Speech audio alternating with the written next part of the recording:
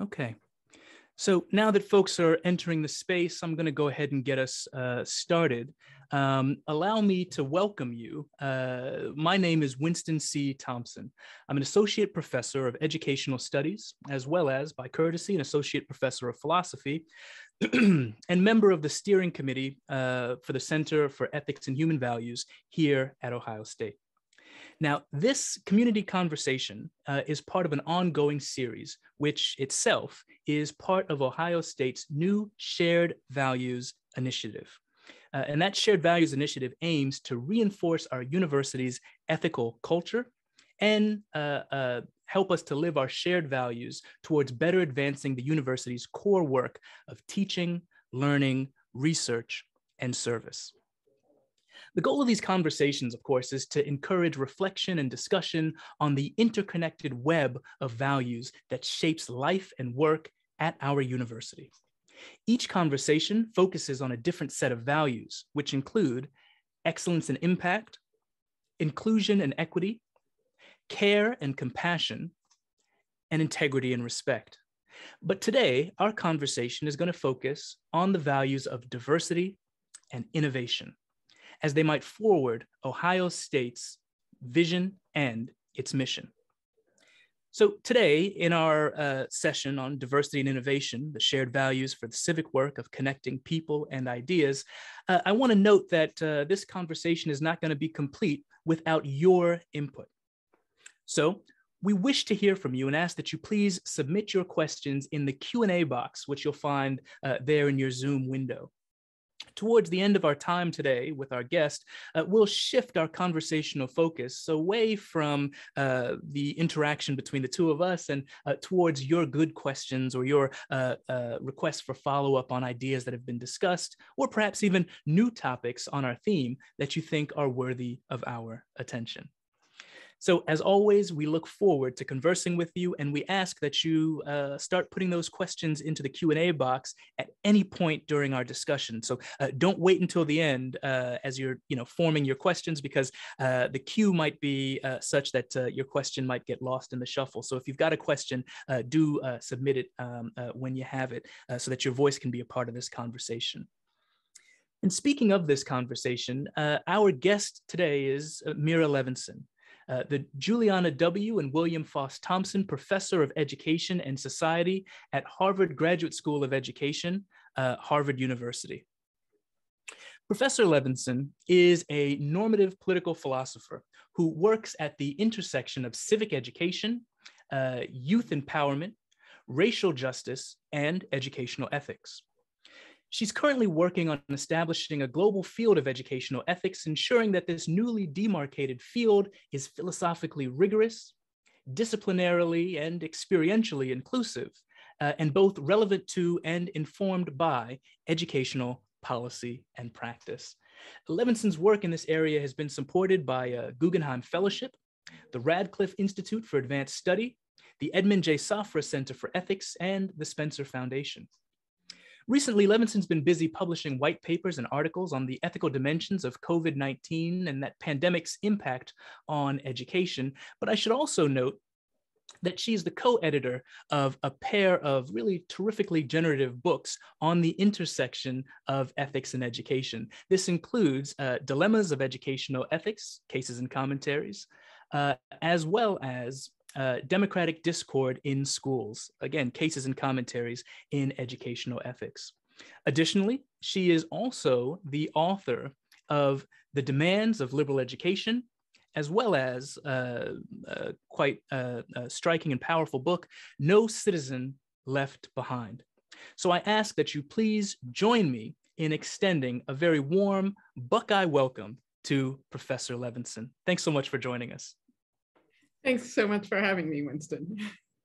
Terrific. So I'm excited to uh, engage with your uh, thinking on uh, the theme that we have today for our conversation. And so uh, I just want to uh, really launch right into things. I've got uh, some some thoughts here, but um, you know, to my mind, across your your work, you've been a real sort of steady advocate uh, for action guiding uh, uh, the ethical theorizing within and about educational contexts. So I'm wondering if you could help us understand why it might be important for us to develop approaches to thinking about values and, uh, and thinking about ethics uh, in ways that really uh, do guide our actions under the real world circumstances that we're likely to experience, uh, you know, particularly here uh, in our work on our campuses. Yeah, thanks. That's a great question. Um, so you know, I think in some ways it might seem a little weird to specify that we want action guiding ethics. Um, it's like, well, isn't that what ethics is about? Like, isn't isn't ethics about what we should do and like, you know, what we are we should feel obliged to do or feel that it's okay to do or what we should feel forbidden from doing. Um, mm-hmm. and the I think the reason though, uh, and and the answer is yes, that is what ethics is about. But uh, as you well know. Um, a lot of the work, particularly that philosophers do in ethics, uh, is attempting to really understand concepts and ethical demands really clearly and carefully in a sort of crystalline um, fashion. And so the best way to do that is uh, that philosopher that many philosophers at least think is to abstract them away from all of the like the the dirtiness and the messiness and the um, confusion of real life uh, and to think about it on a really abstract and idealized level. Just the way say that if a scientist is trying to understand um, you know forces or friction or whatever like that they they abstract into you know say uh, a world where gravity doesn't exist or whatever right like because if you sure. really want to understand those things um, you don't want all the other messiness you know you don't want to like do your experiments in a soot-filled industrial city if like what you're trying to do is understand ideal gas laws or something uh, and similarly you know we shouldn't ask ourselves what well what are our moral responsibilities with regard to a certain you know thing if it's also like messed up with all of the realities and mundanities of life. But the problem is when we do ethics that way, then in fact, it gives us remarkably little guidance for what we should do now here in mm. this messiness right and so that's the reason that i actually think that doing action guiding ethics um, is pretty different from just doing ethics because when we think about well what are the actions that we should take today, tomorrow, uh, you know, today's election day, and uh, you know, many communities across the United States, right? Whom should I vote for? Should I say yes or no on these ballot initiatives or these propositions or whatever, right? all of that has to take into account the messiness of real life. Um, because if it doesn't, then we just go profoundly, like we're just wrong about how we're trying to um, act, right? If we sure. say, well, I understand that there's, you know, systemic racism and injustice, or I understand that the river is polluted right now, or I understand that, you know, people don't have access uh, to high quality health care, but I am going to vote right right now or or you know make a decision right now or act right now as if they do well that would just be morally irresponsible right and so what we mm. need is an ethics that helps us take into account the features of the world that we live in now to help us guide our actions now yeah, you know uh, that makes so much sense to, to my ears. You know, unsurprisingly, uh, uh, you'll, you'll you'll find that I'm sympathetic to uh, to what you've said. You know, it's the case that I often, you know, when I describe myself, uh, you know, as a, an ethicist or a philosopher or what have you, you know, to to to persons that I meet at the you know at the park, the grocery store uh, the response is oh wow that's you know uh, that's work that i couldn't do or that's uh, you know uh, seemingly you know requires uh, uh, capacities that I don't, I don't possess. They might uh, sort of express something like that. And i'm always struck by you know the degree to which at least from my perspective and it sounds like from yours as well you know these persons are immersed in a world that is rich with ethical nuance and meaning and and and, and weight. And so um, the fact that they think of ethics as something that is is you know uh, for someone else or it is somehow uh, um, uh, unavailable to them uh, the, the, the the gate is closed as it were uh, seems like a mm-hmm. real uh, a real loss to the broader field of ethics particularly as we're attempting collectively to address some of the issues that I hear you to be describing issues that affect all of us Yeah, I mean, it's a loss in both directions, right? Because yeah. in fact, everybody you talk to at the grocery store is making ethical decisions, yeah. right? They all are every day in a variety of ways, and they are called upon to make ethical decisions. Um, and so, if in fact it doesn't occur to them, say, to turn to your work or to others, um, you know, for any guidance where, you know, you are actually writing about uh, or developing podcasts about or speaking about, right, uh, the very issues that concern them, then that's a loss to them. It is also a loss to us that as we are puzzling about, you know, how should we understand the ethical dimensions of, um, a particular decision or phenomenon or system or institution that so often uh, we as philosophers are uninformed by the experiences and insights um, of the people who are actually living uh, those decisions, yeah. living within and working and being affected by those institutions or those phenomena or those systems. And, and that's, I think, an equal tragedy. Yeah, I think that that that, that feels exactly right to me. I mean, as you notice uh, and you note the sort of uh, uh, reciprocity of this relationship, right? It moves in both directions, and there's a loss to both sides. You know, um, in your response there, you you made reference to you know the resources uh, that are produced by you know persons like uh, yourself or, or, or people like me, uh, our colleagues at our institutions, and I'm I'm struck by the way in which you know the work that occurs uh, in a university setting uh, can uh, inform so much of what happens in the world around us, right? It's not the case that, um, you know, the work that's happening uh, uh, within the walls of our uh, campuses is, you know, sort of, or said differently, I'm not writing only for you and you're not writing only for me. We're hoping to engage a, a, broader world. And so, you know, I'm, I'm thinking now about the ways in which we sometimes as universities, as institutions, we sometimes uh, might fall short of influencing that broader world and uh, moving uh, uh, uh the rest of our um, uh, colleagues and um, folks towards greater justice. I mean, institutions of higher education, colleges and universities are often envisioned as vehicles for moving us towards a more just society. But you know, our campuses can fall short of these goals uh, for both the broader society, and they can also fall short of these goals uh, in more local uh, ways within our community. To your mind, what are some of the ways that we might begin to, if you will, rethink how we respond to uh, some of our shortcomings, right? Some of the inequalities that exist on uh, our campuses, and perhaps the ways in which some of our practices perpetuate uh, some of the inequalities that we might, uh, in our best moments, uh, commit ourselves to trying to uh, to resolve or to respond to.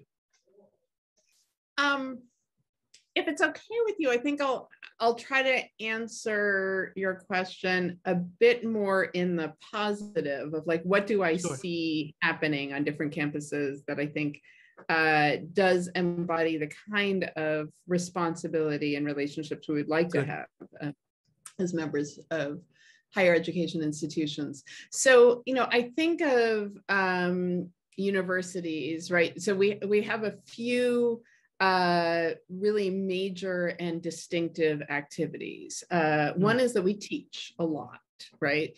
Uh, and a second is that we do research. Um, and a third, uh, particularly for land grant universities and for community colleges um, and for regional colleges and, and, universities is that we are uh, sort of members of the sort of local community and we, we're, we're responsible for serving the local community in terms of uh, producing workers, producing uh, engaged citizens, leaders, et cetera. Um, and so I think in each of those domains, there are ways in which universities can and do, although as you note, don't always or even don't instinctively uh, embody the kinds of more uh, egalitarian and inclusive um, and ethical relationships that you know we would like them to have. So uh, in the area of teaching, uh, you had talked about sort of inequities on campus and um, some forms of exclusion. Like I do think it's incredibly important that we diversify uh, the range of students um, who come onto campus and feel welcomed on the campus and who are actually supported in learning on campus, right? Uh, it is still the case that uh, particularly selective and highly selective and elite universities serve a far more disproportionately wealthy student body uh, than uh, exists, uh, right? And then uh, potentially has talent. And uh, and that I think that it's what's striking to me. I actually recently finished writing a paper about this. Um, is that oftentimes universities say well we try really hard but you know uh, we we don't know how to support like students who we can't mm. accept students who really have underdeveloped skills right and you know like that that's a failure of the k-12 system that's a failure of the broader society but like what are we supposed to do and I, i've been thinking about the ways in which actually universities are incredibly good at supporting uh, students whom they do value who often meet only the barest minimum of the academic requirements uh, at the university. And frankly, uh, to some extent, those are uh, students from very wealthy families where the universities are trying to get philanthropic money. And another large group is actually athletes. Uh, and I'm not meaning to demean athletes, right? I, you know, universities consistently claim, and I have every reason to believe, that they meet the minimum threshold for acceptance, right?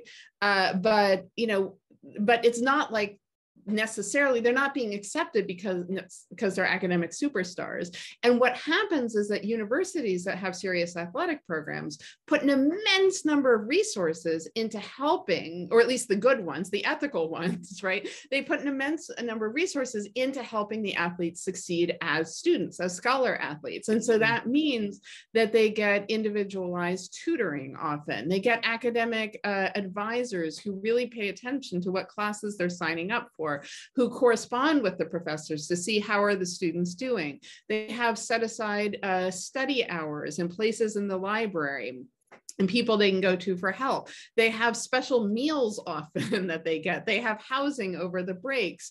Uh, they have uh, sort of on demand mental and physical uh, health services. Like we could actually be doing that for many mm. additional students who also might struggle to succeed academically you know if we've admitted them because they we don't think that they're necessarily as well prepared as the average student and by in that way actually broadly diversify the range mm. of um, students who we accept on our campuses. We've simply chosen not to do that. um, so it's not that we don't know how to support a really broader array of students, it's that we've chosen to put, put a lot of resources into one category of students who we think may need academic support and social support and emotional support and so forth without uh, putting our resources into a broader array. Also, frankly, in teaching, in the, you know, once, mm. once we have people on campus, we should do a better job of um, of teaching students a broader array of courses, but also, so uh, as you know, Harry Brighouse and I were uh, at the North American Association for Philosophy and Education uh, this past weekend, and we gave sort of dueling keynotes about the ethics of um, higher education, admissions, and then serving students while they're on campus. And his paper uh, was about the importance of really high quality pedagogy, right? And we mm. recognize, and I think he's exactly right about this. We recognize that good teaching matters in elementary and high schools, right? Like, and that if a student doesn't learn, say algebra in eighth grade uh, then we actually have sort of gone over to or in ninth grade we've gone over to faulting the teacher and the system as much as or more than we fault the student. We say, okay, you know, it's our obligation to arrange and to sort of create instructional and learning opportunities for you to make sure that you can succeed in this because we believe that in fact all children can learn algebra 1 when given the proper supports which i think is true similarly on college campuses we should feel that same sense of obligation all right if you are taking say bio 101 uh, and it is a necessary course for you to major in a stem field for you to be in the pre-med track or whatever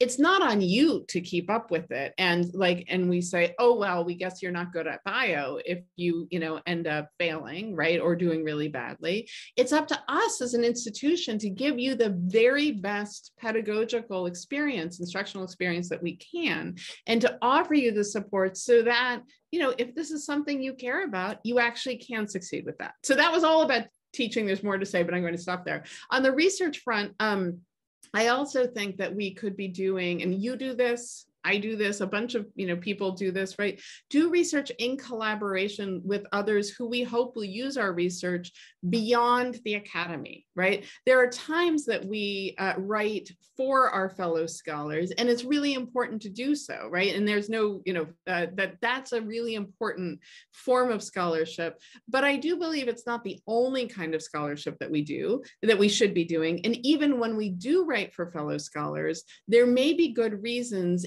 if we're interested in doing action guiding scholarship right?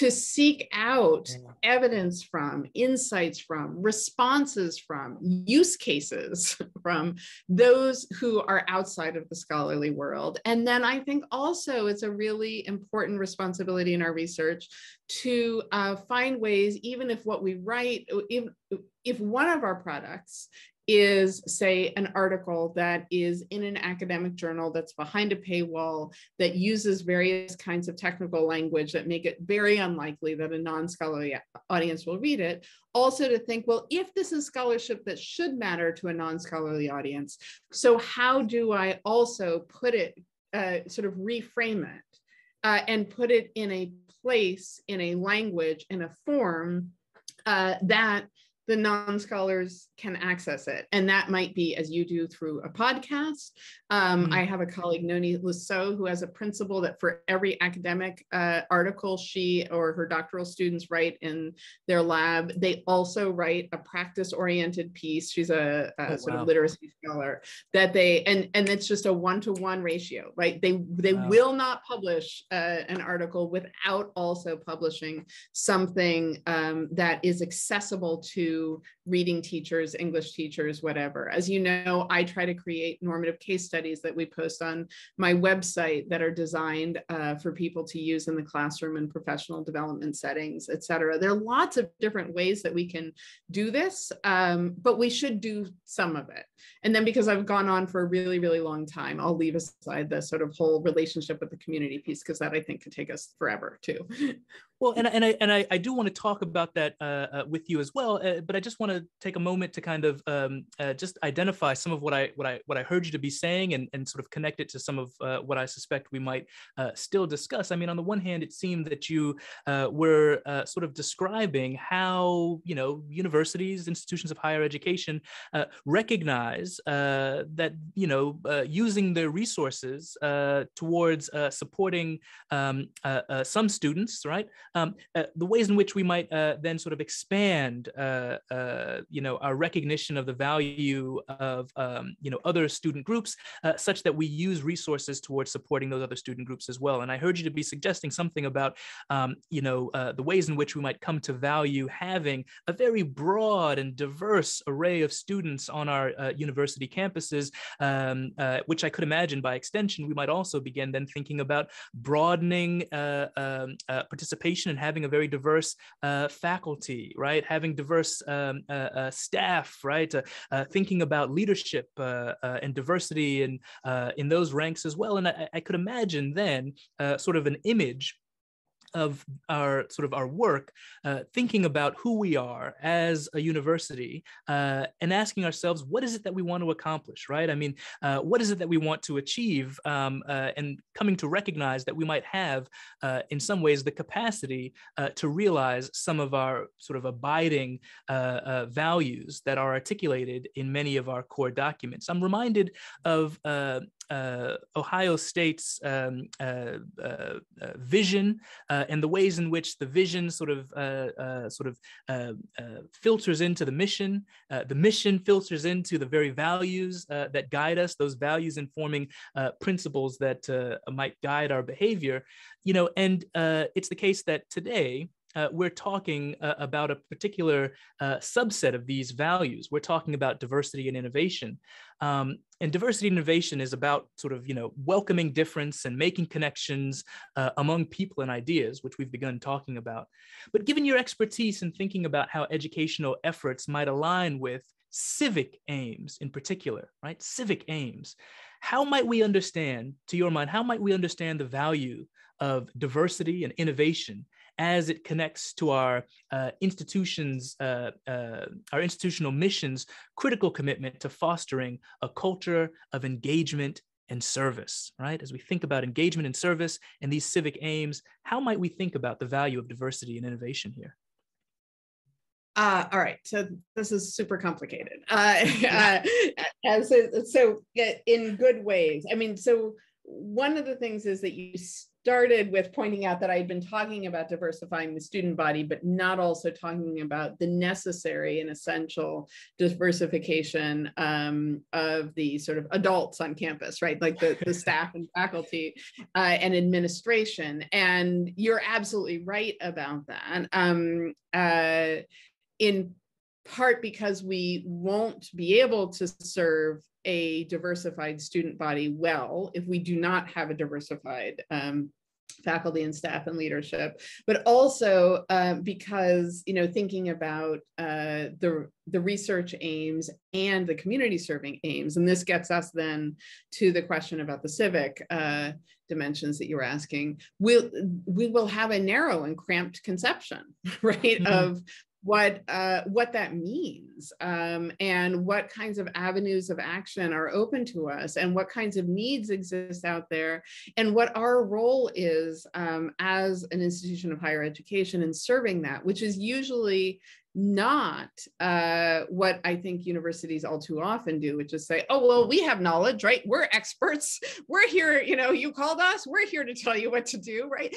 Sure. You know, that's actually not necessarily um, the what other people are asking of us, or really what the uh, our best mode of uh, engagement is, right? Um, so I think uh, oftentimes, you know, so sometimes it is listening, and, and this actually gets us, you know, both to land grant universities and community colleges and others, right? Um, what is it that uh, other people, that employers, that uh, government leaders, that cultural innovators, et cetera, mm. are asking for us to help provide to the community, right? Like, and how can we then, um, you know, grow our offerings, uh, you know, um, change our uh, our majors or at a school or whatever you know that might um, mm. that might serve those needs that are really felt in the community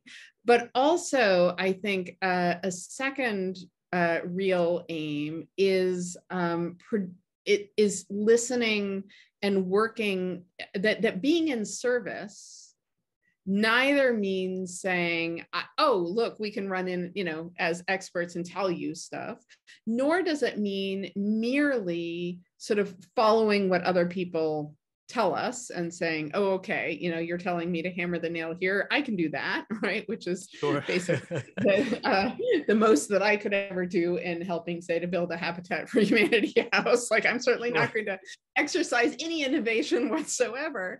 But I think, you know, the, the, uh, some of the most generative uh, work is mm. when we are in true uh, dialogue with, mutual learning from, and mutual knowledge and action creation with those whom we are trying to serve, uh, right? Where then um, people outside the university can actually come to understand us better than they often do, right? Mm. We're not only a place for frat parties, we're not only a place that prepares uh, workers for the new economy, we're not only a place uh, that thinks that we're better than, you know, people two uh, blocks away or whatever, that we're actually a really, really complex institution um, mm. that's attempting to do many things, trying to do it well, right? Like we're really trying to be uh, ethical about what we do. Um, but uh, and that there are many ways in which we try to do that uh, and that we're where we can collaborate and learn and create something better together right than we could yeah. ever do apart. And that is the reason also really to seek out diversity within the walls of the campus at all the levels. You know, you're talking about the, the, the staff, the students, the faculty, uh, the administrative leadership, because that's actually how we get innovation, right? As opposed to simply continuing to do things that the people who are in the on the inside already know how to do pretty well you know I, am I'm, I'm struck by the ways in which your response uh, kind of you know uh, uh, um, points towards a, a, a, real i mean it, it almost feels um, it feels like I'm underserving the concept to just say that it's it's being responsive. But but I, I mean this in a very sort of full-bodied way that there's a type of uh, responsiveness that you're describing here that is you know it it, it, it it's a that, that has a high standard to it that requires um, you know it's not it's not simply it's not mere listening. It's not uh, following directions uh, from outside of the walls of the university. It's not giving directions right? But it's it's this kind of you you use the term dialogical. It's sort of a, this sort of a true dialogical relationship that is, you know, um, responsive uh, is the word that I'm using, responsive in ways that are going to be generative. So as you were talking about uh, true innovation, right? Uh, we might begin to imagine that there are, you know, possibilities for firstly identifying problems uh, that we didn't realize existed, right? On either side, inside or outside of the university, right? Mm-hmm. But it's in the collaboration, in the responsiveness, uh, in the cooperation that we come to recognize some of these uh, problems that might need to uh, uh, to be addressed. And uh, in addition to recognizing problems, I could imagine that there's also then um, the potential for new solution to new solutions to problems that we'd already identified, or these new problems, right? That we can begin imagining different ways of of, of responding um, and different ways of sort of prioritizing the resources, leveraging the resources of the university towards, uh, as you've uh, been describing, uh, ethically engaged action in the service of some public good. Uh, could you say a little bit more about how we might come to recognize or understand what that, you know, public good or what that that aim uh, uh, uh, might be uh, that we could be uh, in pursuit of? Yeah. Um, so let me so let me give you an example actually in this case from my own work. So it's going to be more narrow than you just asked about but yeah. i think the concreteness might help.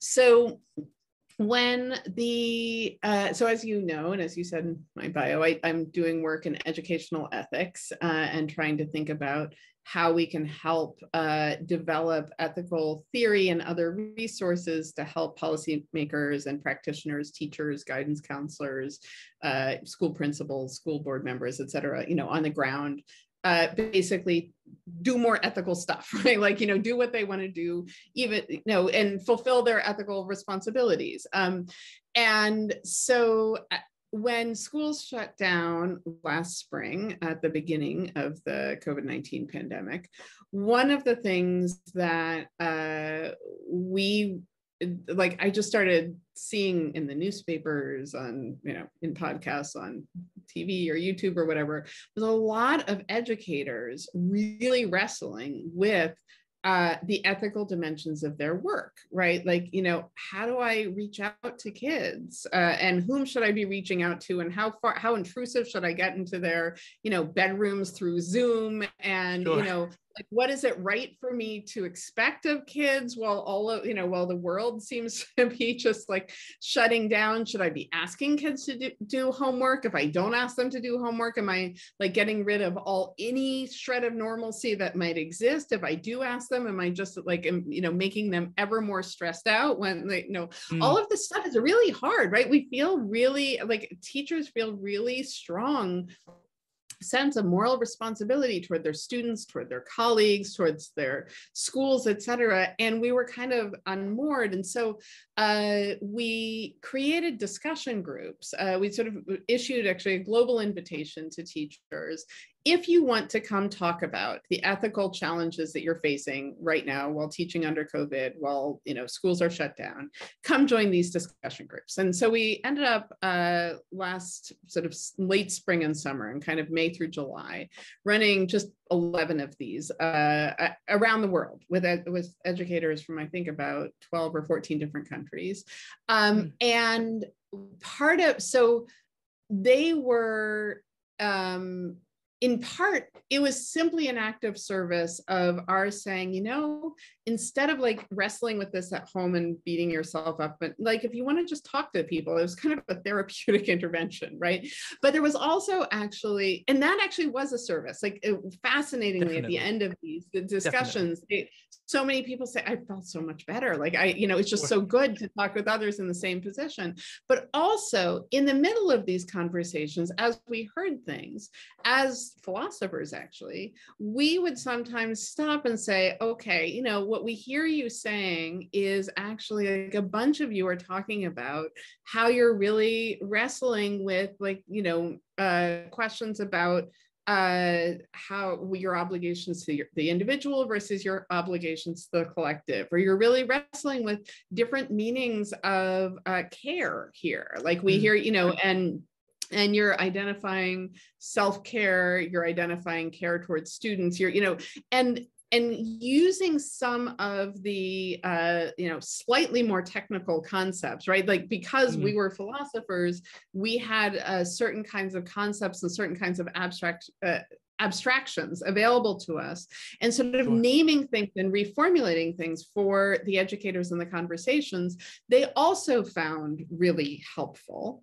Now, at the end of those conversations, we then took we we got their permission. You know, they signed consent forms. We actually recorded these conversations and we analyzed them. And in one case, we actually have this uh, article that I've mostly been sitting on that I need to do the final round of edits on for us to send off to an academic journal about like what were what was the constellation of ethical uh, you know concerns that teachers were wrestling with um, at in the first spring of the pandemic, but also uh, and so that was increasing, sort of, they were increasing our scholarly knowledge. Also, though, by our hearing these shared ethical concerns of teachers, we are producing normative case studies and other resources to actually help the educators now have conversations with one another and with their principals and with their parents and, you know, with community members about these ethical dilemmas. Um, because, you know, for better or worse, for worse, really, they're ongoing ethical dilemmas, right? And so we are trying to then give back tools that will help them do the work that they want to do and help them be better educators and help create sort of more grounded schools and communities. And so, yeah, that is the kind of sort of dialogic responsiveness, uh, and I think uh, sort of service where it's where it's an interweaving of the of the scholarly and the lived in order to try to you know create an action guiding ethics uh, right where it's it's never that it is true that when we read our article, we sort of went off when we did our scholarly little coding and had our philosophical sure. discussions and so forth. But then we also very quickly are trying to turn around and feed things back into uh, practitioners' lives so that they can use them, because that is also feels equally important to me. Yeah, I mean, so so in your description here, um, and let me just remind uh, attendees that you can uh, you can continue to submit questions in the Q and A box uh, down below, and uh, I do want to make sure that we have uh, time to engage some of the good questions that I'm seeing coming through. Uh, so do submit your questions. Uh, you know, uh, uh, Professor Levinson, as you're describing, you know, this process, I'm struck by the ways in which it might sometimes feel to us, um, or at least I'll, I'll, just own it and say it sometimes feels to me um, that you know what you've just described is, you know, it's it's it's um, clear in a moment of crisis, right? Uh, when we have a problem that we've sort of all identified and that uh, we kind of uh, all recognize, or uh, there's an urgency of sort of solving a particular uh, uh, matter because it has suddenly confronted us. And um, in those moments, it can be, um, you know, it, it, can seem to us as, you know, members of the university, it can seem to us very appropriate, right? To have some of these connections that you're describing. And I'm, I'm thinking about ways in which, you know, given your earlier comment, uh, comments, uh, plural, ways in which we might, you know, really center uh, the work of the university so that these great moments of the sort that you've just described and that you do often, uh, that these sorts of uh, moments of connection and uh, uh collaborative uh, uh, and responsive, dialogical um, work, you know, are more common and are in many ways um, actualized as the very essence of a lot of what we're up to here at, at the university. Yeah. Um, given that, I'm, I'm, I'm struck by uh, you know, sort of uh, the uh, Ohio State's uh, uh, mission. Um, and in some ways, you know, the mission uh, of our institution here um, really sort of guides our thinking about, um, you know, again, the very essence of what it is that we're up to. And there's just a lot of, you know, really rich content in OSU's mission that um, I'll, I'll, continue to think about with you and with other guests over the time of this of this series. But, you know, the mission is quite clear in identifying here, right, um, the importance of preparing a diverse student body to be leaders and engaged citizens. I'm curious to hear some of your thoughts about what uh, you know what it means to uh, prepare a diverse student body to be leaders and engaged citizens, and perhaps also something of the value of having right a diverse and you've talked a little bit about this, but having a diverse student body uh, prepared for this work of leadership and engaged citizenship. Yeah. Um, so I think I think it's important. Um, I think the phrasing of this uh, sort of bullet of the mission statement is important because yeah. um, the because it is important to prepare diverse people, right? Um, but also the way to prepare them well is in part through its being a diverse student body, right? Mm. So this goes back in part to what we were talking about before that um, I think in order to be good leaders and in order to be engaged citizens in the right ways, we should have, you know, as our instinct and our as our practice, uh, to seek out and learn from and work with diverse others, right? That uh, this gets back to the diversity and innovation piece, right? Is yeah. that um, we will be more civically innovative. We will be more democratically responsive. We will be better leaders if we are um, committed to and in actuality do like working with learning from uh, collaborating with diverse other people. So it's important that it is not just preparing diverse students, but preparing a diverse student body, which suggests that the body is already diverse, right?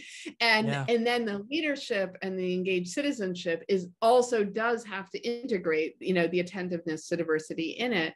And there are many, many diverse ways to be good leaders and engaged citizens, right? So that's the other part mm. of it, right? Is that uh, the leadership, you know, there may be intellectual leadership, there may be economic leadership, political leadership, cultural leadership, uh, spiritual uh, leadership, right? Like there's all sorts of forms of, of leadership that it can take. And one can be, I think, uh, importantly, uh, a leader at many, many, many different levels. So like I act, I often have um, in um, here at the Harvard Graduate School of Education, student or master's students will come in and say, well, you know, I, I've been a teacher for the last four years, but I really want to have a bigger impact and I'm trying to decide, you know, therefore, should I go be a policymaker or a principal or something? And uh, but like on the other hand, I've been learning in my classes that like policy doesn't like you can make all the policy you want, and then what really matters is what the people on the ground do. And I certainly know that because I ignored that new curriculum that came my way because I didn't think it was going to work for my students. And and my point is always to students that we um, that in fact we can exercise leadership and have a big impact no matter where we are positioned is just a different kind right? So like in ways i had a much more intense impact on the say 120 students i taught every year as an eighth grade teacher than I mm. do, you know, uh, than I do on eighth grade students now, obviously. But I have an, you know, this sort of diffuse impact on middle schoolers and on, you know, students in general through the work I do as a professor, which is different from the work that people do as uh, principals or as media literacy specialists or as um, staffers in you know a city councilor's office like we're all exercising like we're yeah. all engaged citizens we're all exercising leadership and we have to have people in all of these different places right? Like kids need a teacher in front of the classroom when they walk in and they need a superintendent who's thinking about the big directions for the districts and they need actually employers who employ them they graduate. Like they, we need this whole ecosystem and so i think that's it's important it's good that we have leaders and engaged citizens that is not sort of more specific than that because we do like um, the diverse student body also should find their ways into a really diverse array of um, of positions of, of spaces yeah. and we can no matter where we are we can all exercise leadership and demonstrate engagement yeah, you know, I'm I'm, I'm struck by uh, the ways in which you know your response there, um, you know, brings us into a very tight focus on the mission, but also allows us to see how that mission uh, expands in some really uh, again generative uh, uh, generative ways. Uh, you know as as um, uh, i sort of think about now transitioning our conversation towards some of the good questions that are here in the q&a uh, box and i know that a couple more are still coming um, i'm curious about your sort of you know thoughts about um, continued innovation curiosity and collaboration you've talked about um, you know potential for collaboration and you've talked about how diversity might lead us to some really uh, innovative, um, you know, one of the questions uh, that sort of is before us is about the difference between uh, diversity and innovation and how, um, you know, here we're talking about diversity as sort of feeding into innovation and innovation as perhaps um, uh, pressing us towards uh, recognition of the value of diversity. But I'm curious about the ways in which, you know, a, a university, a public university like OSU with uh, urban, uh, some, you know, campuses that are urban and, uh, you know, with this sort of community engaged vision, you know, how might uh, an institution uh, of this sort continue to innovate in the pursuit of those new ideas and new solutions uh, to some of our most enduring questions right? Thinking here about our civic uh, civic aims. How should we be directing our curiosity? How should we structure some of the collaborations uh, that you've been describing uh, in our conversation thus far?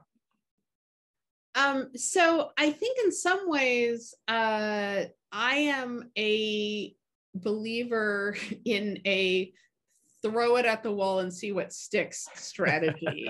um, sure. It, uh, the, Gates Foundation for uh, at least a number of years. I don't know if this is still their strategy or not, but they would often, I mean, this helps when you have billions and billions of dollars, but they would often fund um, uh, various uh, innovations that were actually that that were in opposition to one another that had mm-hmm. theories of change that um, were you know I, if one was true the other one had to be false right um, sure. uh, because they didn't you know they they recognized they were in that respect kind of epistemically humble right they recognized they didn't know uh, mm. and they mm. wanted and that was a you know sort of throw it at the wall and and see what sticks and certainly that's you know the uh, at least the the verbal the express ethos of places like silicon valley and so forth right you know uh, uh, the the fail fast and fail farther of like just try things out right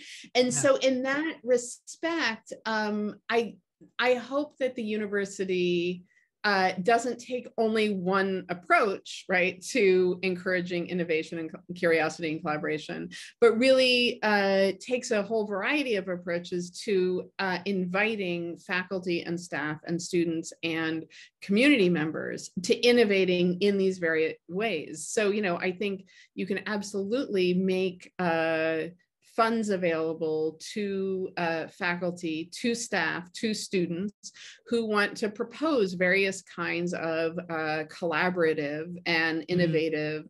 work, right? Whether that's a new course, whether that's a joint research project, you know, with community members, whether that's taking an existing course and putting it someplace new like in a local senior center in sure. you know a prison right you know uh, bringing in a um, more diverse student body, uh, changing what the kinds of uh, research products are, right? So there's that kind of, so I think, you know, in fact, through creative seed funding, that gets a lot of people innovating mm. in various ways also, you know, frankly, from a faculty member's perspective, um, if we want to attract and retain a diverse, high quality faculty, then uh, it does mean innovating about what our criteria are for how we identify high, what we mean by high quality, right? At every stage yeah. of the pipeline, right?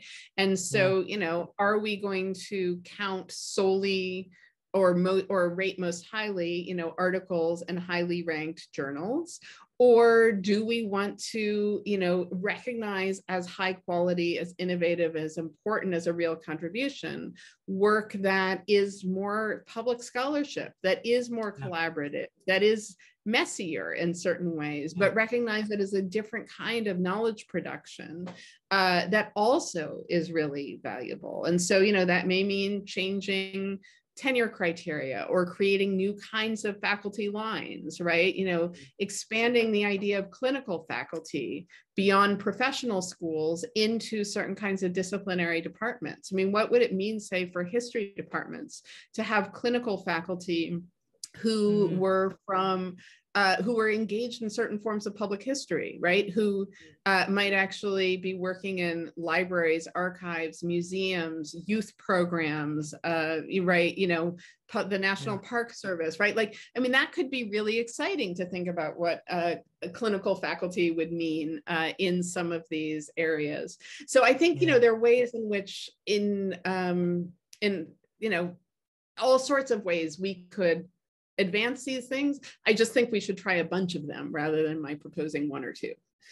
Yeah, I, I, I love that. I mean, so so this idea that we might, in some ways, this kind of uh, relates to and returns us to some of your early comments uh, about sort of recognizing the ways in which uh, institutions of this sort, uh, you know, have historically supported certain uh, uh, populations of students, and perhaps we might expand that. You said earlier to supporting other populations of students, and I now hear you to be saying similarly, you know, perhaps historically we've sort of supported certain types of engagement, but we might now expand expand the scope, right? Expand uh, our, our vision uh, uh, in quite literal ways uh, in terms of uh, recognizing that we have the capacity to support a broader diversity of projects that are going to be quite innovative in the ways that I, I hear you to be gesturing towards. Um, given the amount of time that we have remaining, I'm going to uh, make a very hard uh, switch to some of the questions that are uh, here in the queue, and I've I've incorporated some of them into the uh, previous questions that I've uh, uh, put before you. But um, at this moment, I want to pick up on a question that's been posed here um, that I alluded to a little bit earlier, but I think that I can I can ask more more directly. someone has asked here, you know, sometimes it seems as though diversity and inclusion are mentioned uh, in the same breath. Uh, you know, they're sort of talked about as though they uh, sit side by side. Um, are, are they ever in tension? Uh, and if so, how ought we think about the, uh, um, uh, navigating or negotiating a tension between diversity on the one hand and innovation on the other. Do you have any thoughts about about that? Oh, okay. So it's diversity and innovation, not diversity and inclusion. You had initially said inclusion. So, so the oh, tension sorry, is. Uh, sorry, this person has said uh, diversity and innovation. My apologies. Yeah. Okay, great, great. Okay, just making sure I'm answering the right question. Of course. Yeah, uh, yeah. You know, I think. Um, so, so I I think there are a few ways in which certainly they can be in tension with one another. One is that um, there's always this tension uh, between trying to sort of solve or innovate around a really big thing, a really big mm-hmm. problem mm. that uh, manifests in lots of different ways for lots of different people uh, and trying to tackle a much narrower and more crisply defined problem um, that uh, we can then sort of more wrap our heads around, right? And where there may be a specific uh, targeted way to solve it, right?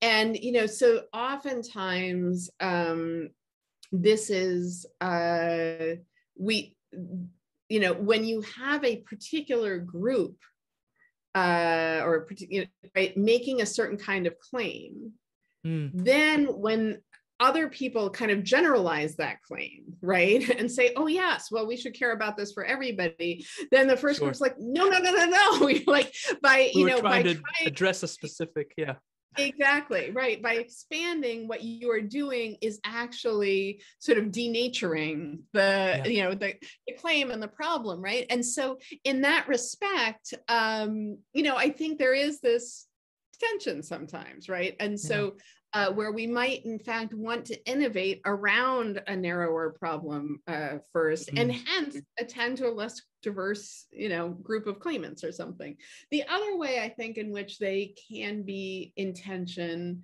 um, or at least felt to be intention mm. is that uh, you know when you are a less diverse group it often just feels much easier, right? Like, you know, there are uh, shared cultural norms. You sort of you think right. you, that you understand what you mean about things. People don't ask questions uh, or raise objections that are unexpected, right? That feel to you as if they're going to derail things, etc. Right? Sure. Like, and so you feel as if you're eh, potentially as if you're being much more innovative because things are like chugging along really smoothly, right?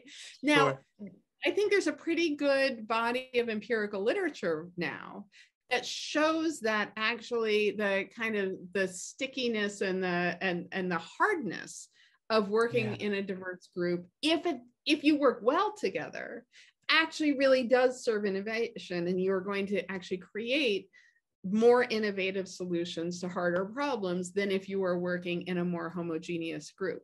But it certainly doesn't feel that way uh, to groups for a while. Uh, and yeah. so, in that way, it can definitely feel as if those are intention, even if empirically uh, it's not true. Although it is true if your diverse group just doesn't work well together, right? Like, sure. this gets us back to the inclusion piece right? Merely being diverse is not enough to assure ensure success.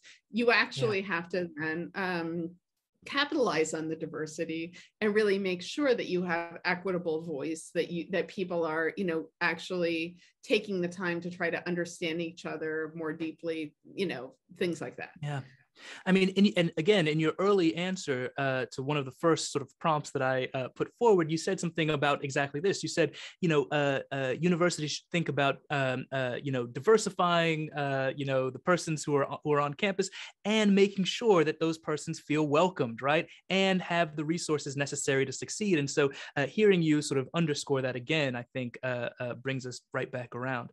I'm going to now do a thing that I ought not do because we only have two minutes remaining, but the question here is just too good to pass up. Um, so I'm going to ask that you be somewhat brief if you if if okay. possible. But there's a question here about uh, uh, that's inviting you to say something about the value of formal ethical education, right? And uh, education in uh, uh, the practices of uh, uh, of doing uh, and thinking about ethical matters, um, and what what value that holds for um, uh, for citizenship, given the range of ways in which people show up in civic spaces. Any thoughts there?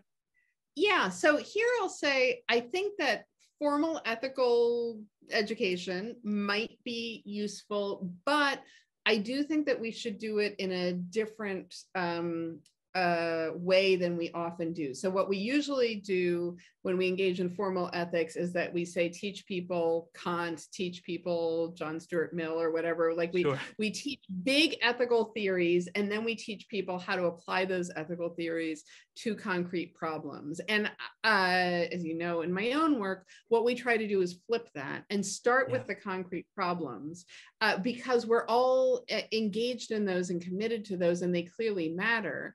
And then uh, out of our discussion of those problems, try to identify okay so what are the different values that are motivating us here? Or are we all embracing the same value but we're interpreting it in different ways? And to start to develop a, a sort of an ethical vocabulary that may be shared and may get abstracted up but out of the problems that uh, sort of unite us as something that we are caring about and we agree we need to fix so it can still be a formal ethical um, training, but starting from the ground up as opposed to going from the top down. That's a wonderful note for us to end on. Uh, allow me to thank you, uh, Meira Levinson, for joining us in this uh, Shared Values Initiative community conversation. You've given us so much to think about. And on behalf of uh, the Buckeye Nation, I thank you uh, for your time and your efforts today. Thanks so much. Thank you so much, Professor Thompson.